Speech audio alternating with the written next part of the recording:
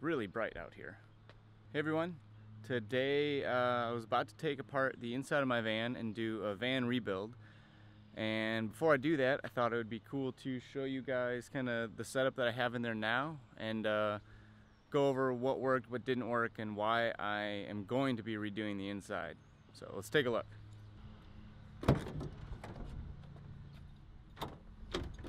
Okay, so first, I guess starting with the back doors, these are my tables. Um, they're just, they just hook up with the rope here. And uh, it's kind of a weird design, but it's been working. And I like the panel look of the doors. And it's the only way I can get the tables on the back doors um, because I don't have a lot of depth because this, this, you know, box comes so close to the back of the van. So I had to come up with a different idea for the, the tables, but it worked and I don't know why I'm rambling on about my table so much. This side, the table is a little different uh, than the other one. It's got a different shape to it. Same rope technique for uh, popping them up, but it needed to be a little bit bigger for my grill to fit on. So that's why this one's got uh, these weird little notches because the uh, release to open the back door is right here, so I had to notch that out. And the cool thing about the Ford Transit Connect is if you push this button down here, it releases the door and it can swing all the way open. And now you have a lot more space to work around and it's not so uh, claustrophobic feeling. Up here are my curtains. They're just held up with Velcro and then they just roll down so that way they can be blacked out and you can't see in the inside of those when the doors are shut. Okay, so it's insanely bright and I can't uh, find a happy medium here, so bear with me. Uh, I guess first and foremost, I use this thing to clean dishes and uh, you know if I need to rinse my hair or anything like that, I uh, just fill it up. I set it up on one of these tables here and then it just lets me have a running water source for a little while at least. Uh, this is just the dish towel. And then behind there is a cutting board. Tucked up in this corner is my wax. I do a lot of skateboarding. Tried to keep it in a dark place so it didn't melt, but it always melts. And then back here is my power strip, which is just ran uh, an extension cord. I have a 2000 watt inverter behind the driver's seat that I'll show you here in a minute. But um, I just ran that so that way when I need power, I just flip the switch behind the driver's seat and then I now have power in the back, which is a lot easier to get to. And you'll see why it's easier to get to once you find out where I put the inverter. Before I get too far into this, this van build is a very odd van build because when I built the cabinets in here originally, I didn't plan to live in it.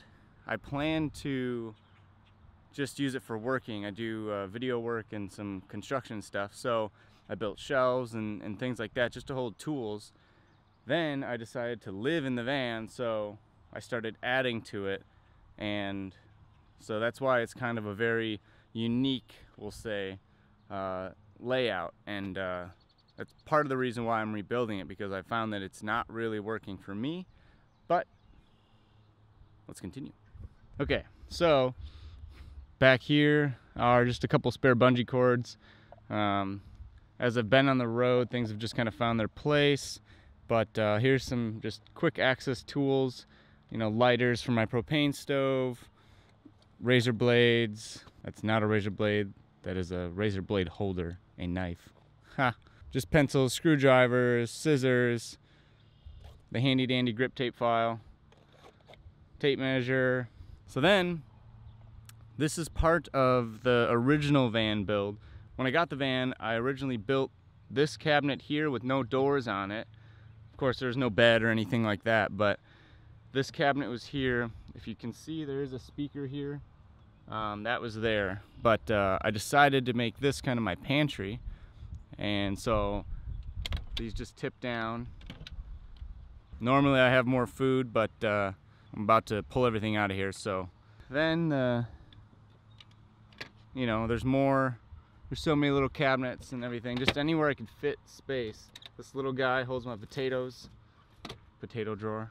But yeah, so when this is down, this kind of doubles as my desk. I just sit in here cross-legged, which I can't do very well, by the way. Part of the reason I'm rebuilding the van. So my laptop will go here, and I have a, another shelf for just more room if I need to put a hard drive up there or, or whatever. But this thing kind of doubles as my desk slash food storage. Um, but then they just clip back into place. Okay, so let's go to the bed, I guess. The bed is just bridged. Um, if you can see in here, the bed is just bridged between. There's like I kind of put like a cleat in on each side. Um, it's like three quarter ply, so it's there's flex, but it's definitely not going anywhere. And then across that front edge, there's a another support.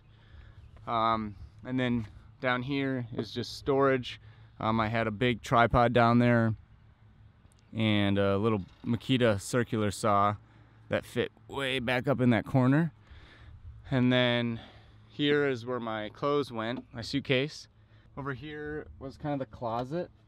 Um, just a bunch of random stuff went in there. So in here, which I recommend from just about anyone that's going to be doing this van thing, is a lockbox.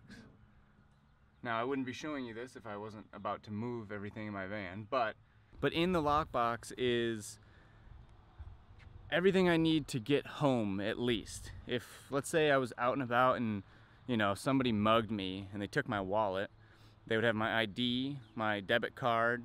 If I had cash in my wallet, you know they they would get away with everything that I have to get home and yeah, you get your debit card stolen, but if you go to the bank, you know, I use a nationwide bank, and uh, you need your ID to access your account. At least I do.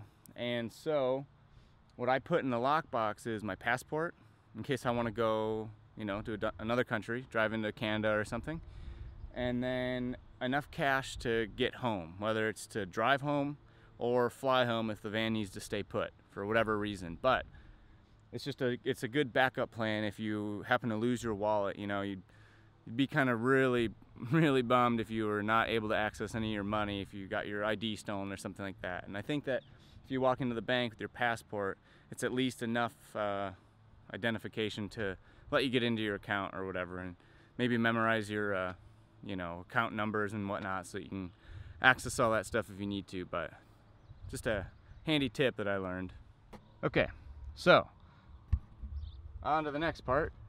Close that. That magnet is the strongest magnet I've ever used. I don't know how.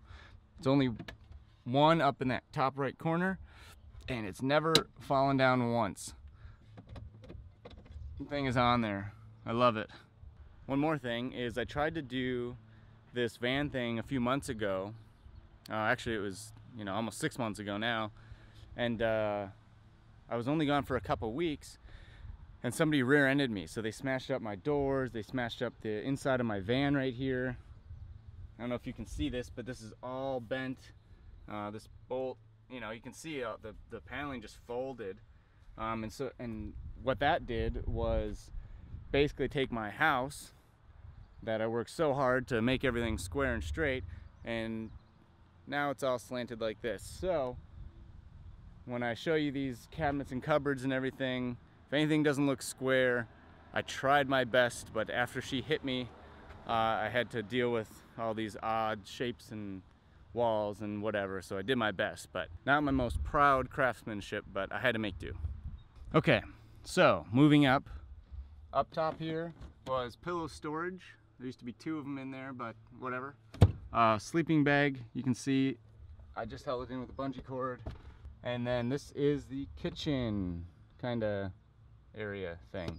In here is coffee pot, uh, some spices, my propane stove, which again, that pulls out. It's gonna be super bright, but and set on that table. Um, the most satisfying propane storage I've ever uh, experienced. I lucked out when I built this. I measured it and it, it fits so snug that two of them just slide right in there and they're, they fit perfectly. Um, dishes, pots and pans, you know, plates are up there. But yeah, that all just stays in there. And again, these are just uh, magnets, so click. They have opened up, but they rarely do. Um, and I never decided to throw a latch across here or anything, but it worked for now. And then up here, there were three of those plastic like shoebox storage. I took the lids off and they basically acted as drawers. So, you know, I had like first aid in one, uh, you know, plastic bags, like sandwich bags and stuff like that. Just whatever, more storage I could uh, suck out of this thing. Okay, so that's the back of the van. Uh, let's go around to the front and I'll open up the side door so you can see a little more of what I'm working with. Also, I got this custom van tattoo, two of them actually. I got one up here, it says things will work out. I thought it was kind of funny. Um, and then this one, they were both done by this really talented pinstriper. I went to this old 68 Chevy van convention and the guy was there. Uh, his name's Michael Swann. I'll put his uh, Instagram link in the description, but definitely check out his stuff. He's a very, very talented pinstriper and uh, awesome, awesome guy. And he actually is doing his own rebuild of a 68. Uh, don't quote me on that. It's an old Chevy. I don't, I don't remember the year though. Okay, let's do the side doors. So, my uh, original line of work was uh, videography. So when I built the van, I had built a bunch of shelves on this side so that I could get out of the driver's door, open the side door, grab the Pelican, and be on my way. So, nothing's in here right now because I took everything out, but this was all the, you know, the cubbies and everything for all the, I had two Pelicans, one for the camera, my lights, sandbags were down there, uh, grip bag, there's a little five in one that fit up here with some umbrellas and whatever else I could squeeze in there, but uh, I'll spin this around and let you guys get a better look. Yeah, it's definitely uh, very custom for what I needed. I don't know that this would benefit anyone too much, but um, up here are hinges because the doors on the backside open up so you can so you can access the camera equipment from the inside of the van if it's you know raining or something but uh, you know this works really well for what I used it for and uh, so here yeah you can see the unsquareness of the van probably pretty good. Looks like it's slanted all to the right but again I'm gonna blame that on the other person. So I'll go around to the other side here now and uh, show you kind of how this bed's gonna work. So here you can see I guess first before we do the bed uh, I had a little light here at night it's super bright.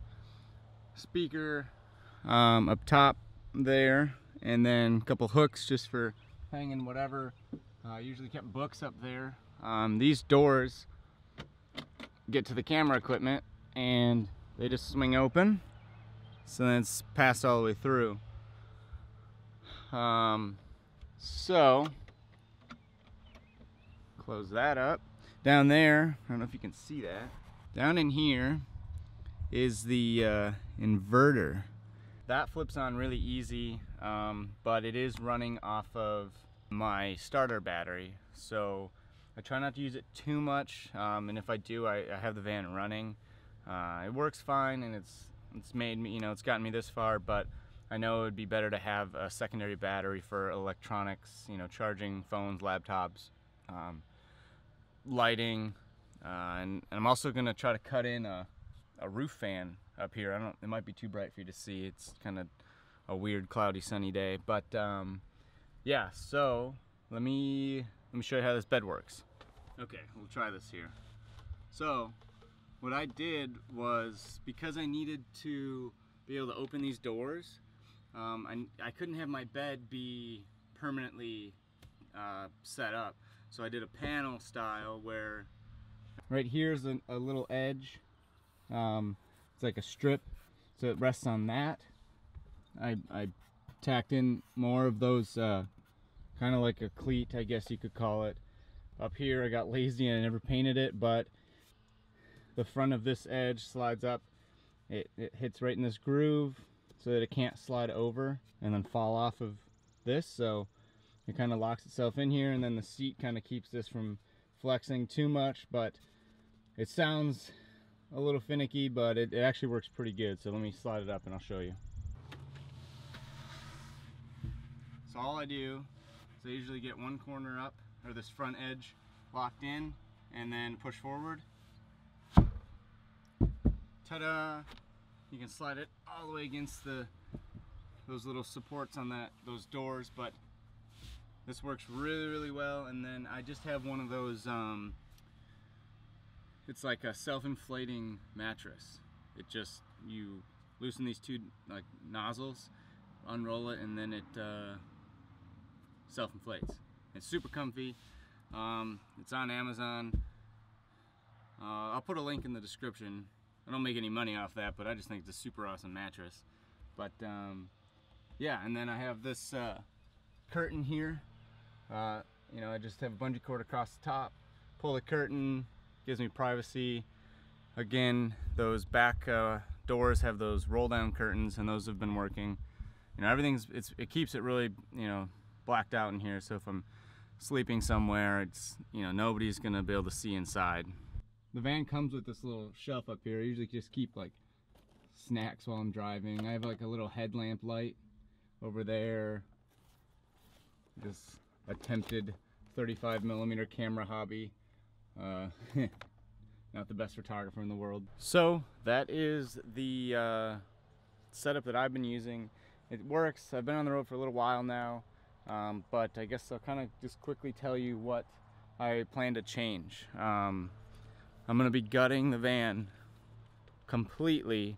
I'm gonna be pulling out everything that I built. I, you know, I put this subfloor in. I'm gonna take that out, take the factory floor out. I'm gonna insulate everything. Um, hopefully put a wood floor in. Um, cut that that uh, ceiling fan in here for ventilation because it gets hot in here. And then um, I'm gonna try to do one of those slider beds that'll be a couch during the day, pull it out and it'll fold down to a bed. And then I'm gonna do a, a larger version of this cabinet so it comes out deeper that I can actually cook inside the van. Um, what I've noticed is that I do spend a lot more time in the van than I planned, uh, just with weather and heat and you know things like that. Um, but I want to make it so that I can get through from the back door. If I want to walk in, I can go in and out on the you know the side door, so that it, there's it's not like me crawling around on this bed if I want to move around in here. It just it was feeling too claustrophobic and I wasn't a fan of it. And also, everything is black. When I built the van for the tools and whatever, uh, I wrapped all the uh, you know all the wood in in this black automotive carpet so that it would be quiet, and then uh, I just kept doing that to kind of keep everything to match. And it's so dark in here, and this carpet is it's nice, but it's not my favorite thing in the world. Also, before anyone thinks that I just don't drink water, let me uh, let me move this panel again. Try to do this one-handed. This will make it look like a very good build if I can do this. Can't do this. Oh my. Yeah, I got it. Okay. So that's what I do when I want to put the bed away. But down here, I had five gallons of water. There's a little eye bolt down there, and then a bungee cord ran over to here, and it kept five gallons of, of water behind these seats, and that's what I used. Um, and then that one on the back, I would just fill up if I needed to have like running water for whatever reason. But yeah, that was, I definitely think five gallons was enough for one person for me, especially, you know, I, I do a lot of skateboarding, so I'm always drinking water, but um, yeah, it worked. And then uh, I have a cooler uh, actually in not in here right now. It's one of those, it's almost a Yeti. It's like a different brand cooler, but thing keeps ice for like days. Um, back to future plans. Um, it's pretty much it. I'm gonna try to keep it simple. I definitely brought way too much stuff uh, when I did this the first time. Um, there's a lot of weight in here and I realized I didn't use you know even half of the stuff that I that I brought with me uh, so I'm gonna try to go out with a lot less and uh, you know kind of go with that uh, less is more mentality. Um, one last thing I guess is the rack. That's kind of cool. Uh, let me close these back doors. Okay quick because my camera is probably gonna overheat again. Boom. Yeah so I put the ladder on the back I had to mod it up top. I had to weld some different brackets that I could get it to fit. It works great. Um, up top I have this custom rack that we got built. I can't weld, but just did the fabrication, had my, uh, my dad's friend weld it up, and then I put all the, the wood on it to kind of give it a different look. Let's just go up there. Gas can for the generator and or my van. The Thule carries way too much freaking stuff, but I'll show you real fast. This thing is a lifesaver. Voila. So, in here is a generator, uh, some shameless self-promotion, ambitionsnowskates.com. Uh, I'll put a link in the description if you guys are curious as to what this thing is. Um, it's kind of basically, uh, it's a skateboard for the snow. Pretty awesome. That's what I do in the winter. Uh, so in here I keep a tent and then cardboard for lighting fires, starting fires. This is a big light stand case and then this bag down here is more light stands in it but uh, yeah I'll try not to make this video too long.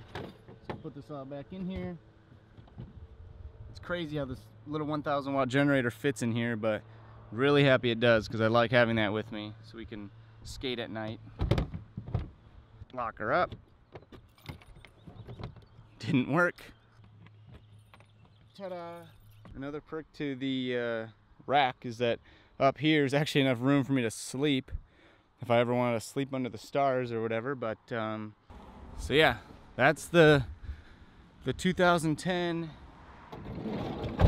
Ford Transit Connect uh, conversion.